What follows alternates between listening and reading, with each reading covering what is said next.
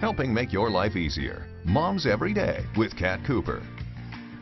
If you've ever had your credit card number stolen, you know what a pain it can be. Paperwork, waiting for new cards, changing auto pays that you had set up. What a hassle. The best thing you can do is to avoid having your card stolen in the first place. Here to help us out from MSU FCU is Whitney Anderson Harrell. Welcome. Hi, thank you for having me. Thank I'm you excited for to being be here. So, what are the ways that a credit card can get stolen? You know, it can happen really easily if you just leave your stuff out, if you let people go through any of your belongings. But one of the main things that happens that we have is card cracking.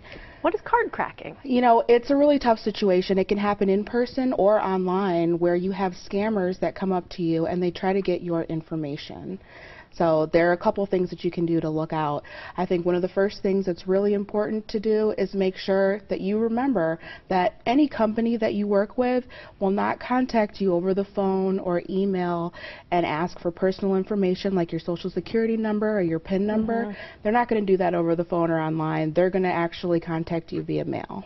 And so, if it's from a reputable source, we'll be getting a letter and be asked to call them? Absolutely. And so, if someone does call us and says, we're from the credit card or company or the IRS, what do we say to them? You know, one of the first things you can do is actually give us a call at the credit union. Right at MSU FCU, you can either log on and do an online chat, you can call on the phone, but I think it's important to make sure that you ask the right questions. Don't just automatically give your information out. Wonderful. Thank you so much for that very important information. For more on this and other great topics for moms, log on to momseveryday.com and have a great day.